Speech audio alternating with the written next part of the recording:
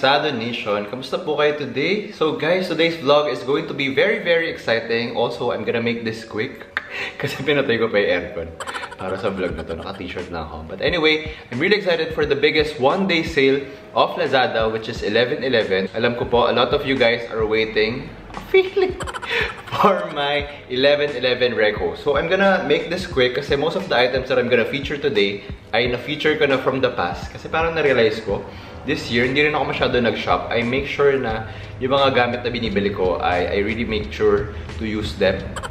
Tama English ko. I, I, I really make sure na May nakiki-epal dito. Ha? Lang kita. Guys, kasi whole day na kami nag-shoot. So, talaga yung busiest week, 11-11. Bilisan mo na. So, bibilisan ko na kasi gagabi na. Init. Anyway, kasi... lutang na. Lutang na kami. But anyway, exciting nga to kasi one day nga lang ito. Hindi ko kaya. Kasi nga, one, One day nga lang ito. So you guys can really enjoy the lowest prices, this 11.11. And then meron din tayong free shipping with 0 pesos minimum spend. And then a bonus discount of 50 pesos for every 500 pesos spend. So pwede nyo na i-collect yan as early as now and then make sure you redeem it on 11.11. Okay? Okay, ang maganda dyan. So, pag pumunta kayo sa Lazada app nyo, tapos may nakita kayong item na gusto nyo, pag nakita nyo yung banner na 11.11, it means na part siya ng 11.11 one-day sale natin.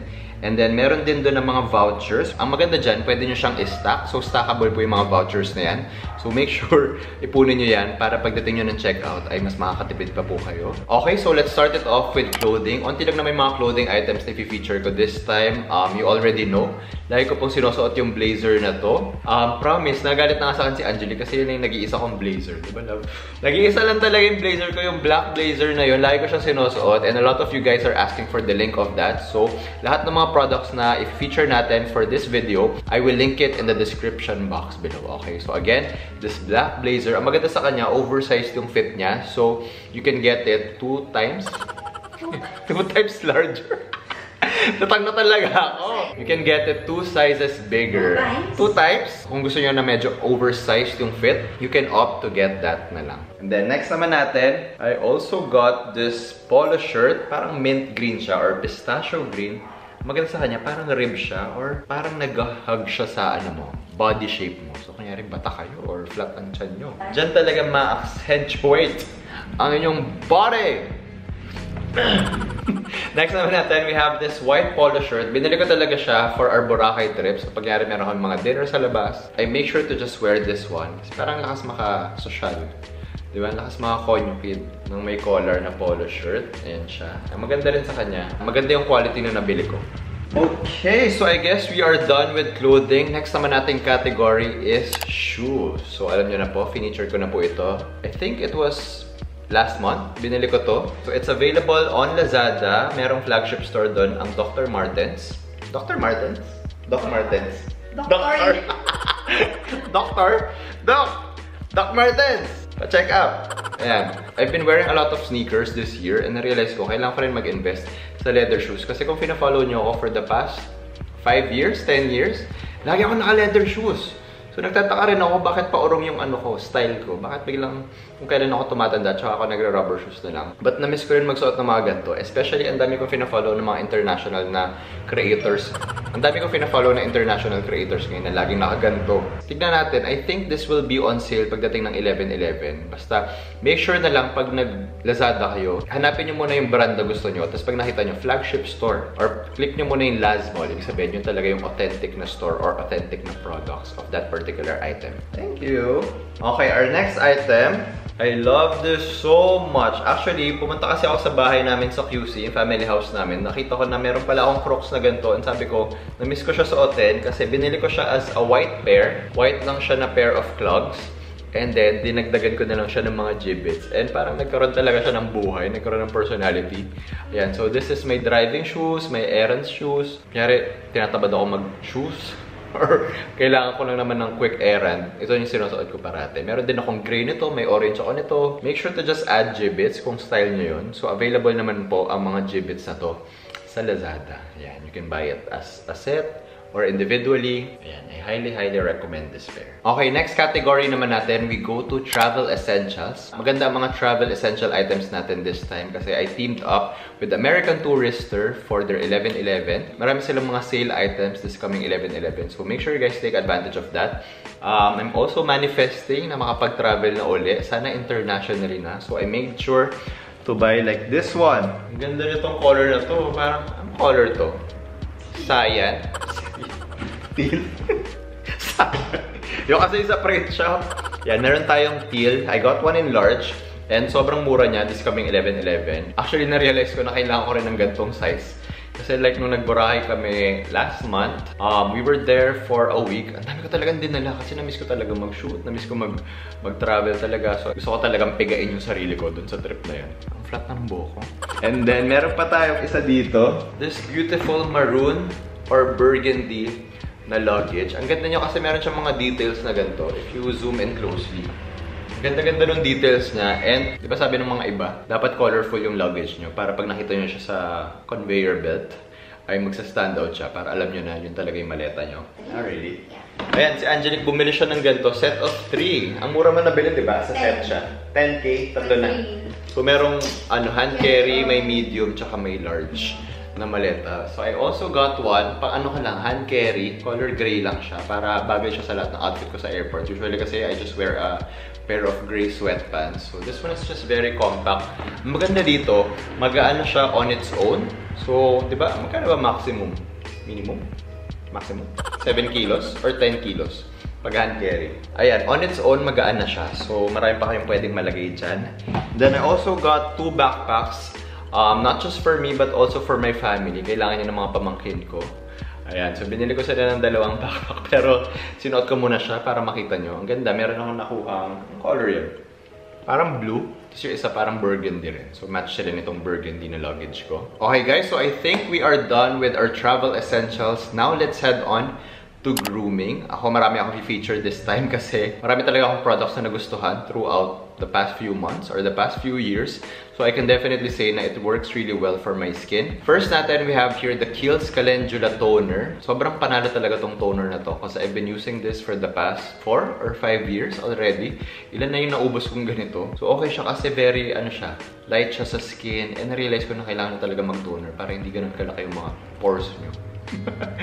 so, make sure you add this to your grooming routine. So, after nyo maghugas ng mukha, mag-toner kayo. Mag-invest kayo sa toner. May kamahalan lang tong Kiehl's, pero promise, okay talaga siya. Yan ang masaya sa kanya pag nagto-toner ka. Bawat lagay mo ng product, may sumasama na petal ng calendula flower.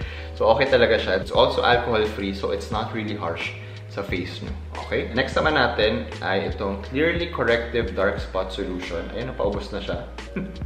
Kailangan ko na bumili. Ang maganda dito, if you have mga acne spots or mga discoloration, or yung mga dark spots kayo, make sure you guys use this one, kahit onti lang. Nung dati, nilalagay ko talaga to sa buong mukha ko. Like, enjoy na enjoy ako. Feeling ko kasi gusto ko na-absorb siya ng buong mukha ko. Yung pala, ang mahal-mahal niya. So, I feel so bad pag ang dami ko palang ginagamit. So, just a drop of this will do. Pwede nyo siya ilagay lang dun sa mga marks or pwede nyo siya ilagay sa buong mukha nyo. Bahala na po kayo. Kung may budget naman kayo, why not? Or kung sale naman to, this 11.11. Oh, this one.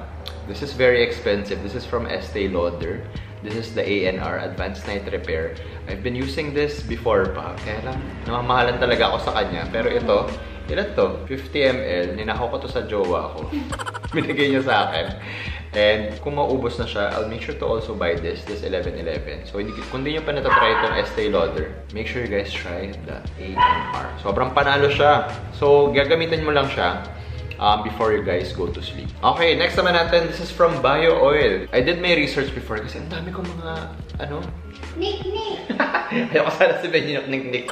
Pero ang dami kong peklat sa likod nung time na yon. So, sabi ko, paano ba matatanggal to ng mabilis? So, okay pala talaga yung bio oil. Ay, actually, hindi pala to. Sorry. This is for dry skin. Super dry skin. This is the dry skin gel. But, ito talaga yung bilib ako na product. The skincare oil. Hindi lang siya aesthetic. Pero mahal din siya. Nabili ko to before sa Watsons. And now, I just get my stock from Lazada. So, ayan. Okay din siya. Nakalahati ko na rin. Yun. So, kunyari, meron kayong mga acne marks or meron kayong mga peklat or stretch marks, ito yung recommended ko. Bio Oil Skin Oil.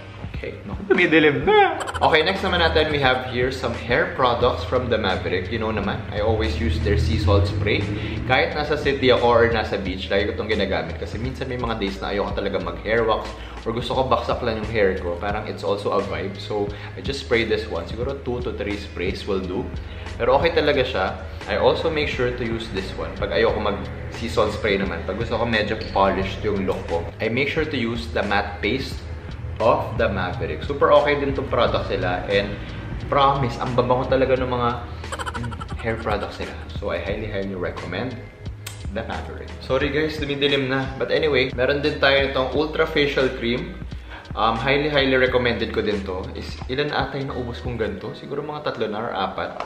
Super okay to pag sobrang dry ng skin nyo or parang feeling nyo, wala siyang moisture. Ito talaga yung pinaka-okay. Ultra Facial Cream. And then we also have here the Sunny's Face Dream Cream. Another nyek-nyak from my jowa. Ayan po siya. Lahat na lang! Super okay siya kasi parang ang luxurious nung vibe niya. Pag nilagay mo siya sa skin nyo, parang sobrang thick nung moisturizer na to. Moisturizer ba to? Yeah. Parang gel type siya eh. So, pag nilagay mo siya sa face nyo, after a while, may kita nyo na parang inabsorb na talaga siya ng skin nyo. So, feeling nyo sobrang plump na plump or sobrang um, hydrated ng skin nyo after din. Parang ma- medyo mahal din to eh. Pero mas mahal pa rin ang Ultra Facial Cream ng Kiehl's talaga. And then, next up, we have here, Nivea. Ang nagtatanong sa akin for some reason kung ano yung sunblock na ginagamit ko. So, ito na yung ginagamit ko, yung sunblock um, ng Nivea, which is the Protect and Moisture SPF 50. Gustong gusto ko siya ginagamit kasi pag naamoy ko siya, it really reminds me of summer or the beach. So, na nag-good vibes ako pag ito yung ginagamit ko. And then, recently, sabi sa akin ni Bello, um, sabi ng doctor ko sa Bello, ay dapat ay mag-sunscreen na talaga ako everyday. Kasi bawal ako maarawan. So, yun, naglalagay na ako nito.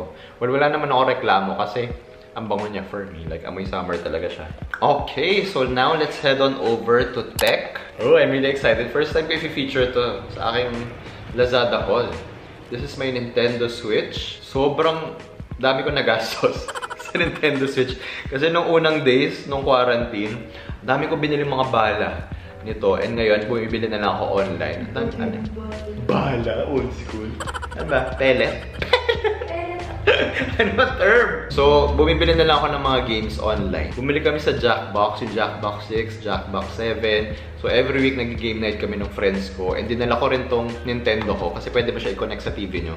So, ito yung nilalaro namin ng mga pamangkin ko, ng mga kids doon. So, every night naglalaro kami nito. I'll check the prices. Um, nahanap ko na may link nito from the authorized seller. I will link na lang the product in the description box. Okay? Okay, the next item is probably my favorite purchase this 2021. This is the Instago 362. Ayan, this is the smallest camera that I own. Ang okay sa kanya, Ganyan na siya kaliit. So, ang saya-saya ko pag nagvo-vlog ako sa labas kasi I don't need to bring my camera anymore. Parang nagkaroon din ng dynamics yung mga vlogs ko and mas na-appreciate niyo yung content ko ever since I started using this camera. So, ganyan na siya kaliit. Ang maganda dyan, magnetic siya. So, kung mag may magnet dyan sa tabi-tabi nyo, pwede nyo siya i-mount doon. Tapos pwede nyo na i-record. So, andito yung remote niya. Yung remote niya, i-press nyo lang yan. You can record here. You can change the mode. So, pwedeng picture, pwedeng time-lapse, pwedeng video. It also doubles as your tripod. Ang cute niya. So, pwede mo siyang ilagay dyan if you want it to charge or you can also take your videos from here. But meron din siyang mga kasamang iba-ibang mga clips or mga mount. Meron din siyang magnetic na necklace. Meron din clip na pwede nyo ilagay sa hat nyo. And then, ito rin yung pinakagamit na gamit ko, which is the pivot stand. So, you just remove this from here from the charging case. And then, lipat mo siya dito. Ayan. Tapos, tanggalin mo to. Ayan. And then, pwede mo siya idikit kahit saan. Ayan. Pwede ka na mag-vlog. Diyan na siya. Para mo na siyang CCTV or dashcam. Kayo na bahala kung anong content gusto nyo. And also, it's waterproof. Grabe, sobrang passionate ko sa product na to. Waterproof din siya. So, kung napanood yung mga Boracay vlogs ko, ito yung dinadala ko sa beach, sa swimming pool. And then, if you just wanna use this one, hindi mo na siya kailangan i-record from the remote camera. Pwede mo na to iiwan. Kasi ito, hindi siya um, waterproof. Ito lang yung waterproof. So, pwede mo lang siya i-press once. Pwede nyo siya i-connect sa phone nyo. Or kahit wala yung phone nyo, actually, press mo lang siya once and then magre-record na siya ng video. Kayo na bahala. Huwag kayong magduda, kunyari nagasgas nyo yung lens nyo. Kasi pwede nyo palitan yung lens. Ayan, no? cover lang talaga siya. Ganyan na siya kaliit. So, ito talaga yung best purchase ko. This 2021. Sobrang nag-enjoy ako mag-edit ng mga vlogs ko when I started using the Instago 360 um, 2. Okay, next naman natin, this is the Canon G7X Mark II. Um, this has been my vlogging camera for the past 5 or 6 years. Ito lang yung ginagamit ko. Never na ako nag-upgrade.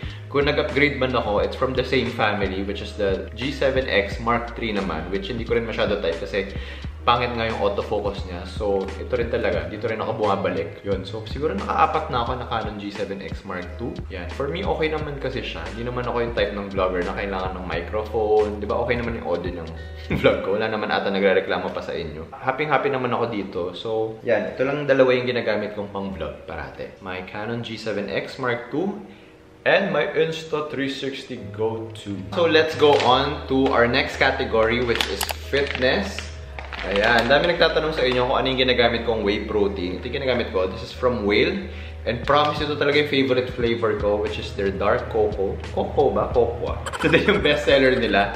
And ang sweet nila, kasi suki nga ako sa kanila, binigyan nila ako ng hazelnut fudge.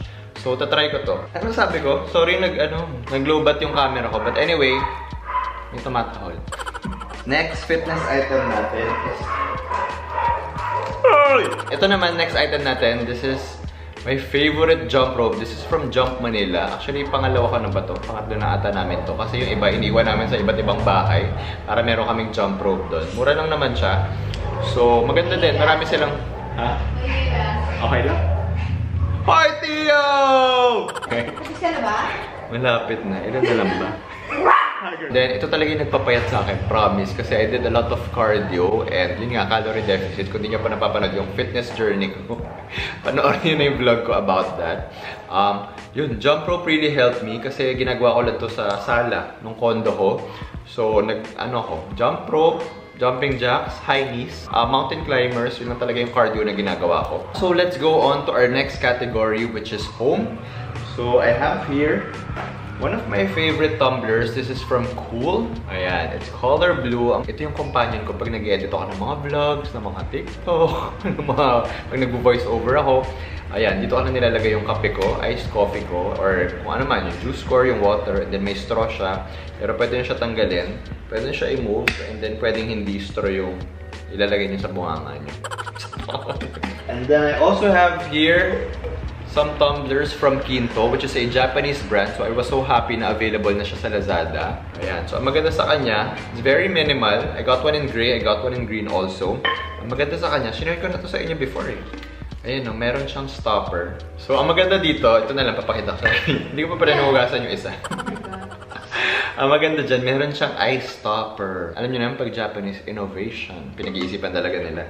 So gusto gusto ko yung Ito na yan. And then, next naman natin, I love pa about ng mga card games. I have here a bunch of different card games. Meron tayong Uno Flip. Ang maganda dito, it's the regular Uno card game, pero pwede nyong i-flip. So, meron parang ibang card game na madali rin naman. Same vibe ng Uno, pero mas mahirap lang siya. Mas challenging lang. So, masaya yan laruin. And then, we also have here, one of the OGs, Monopoly Deal. And then, we have here, Exploding Kittens. Yan, masaya rin ito. I will all link this in the description box. And then, meron ako nakalimutan i-feature, sorry, pero lagay ko na lang to sa home.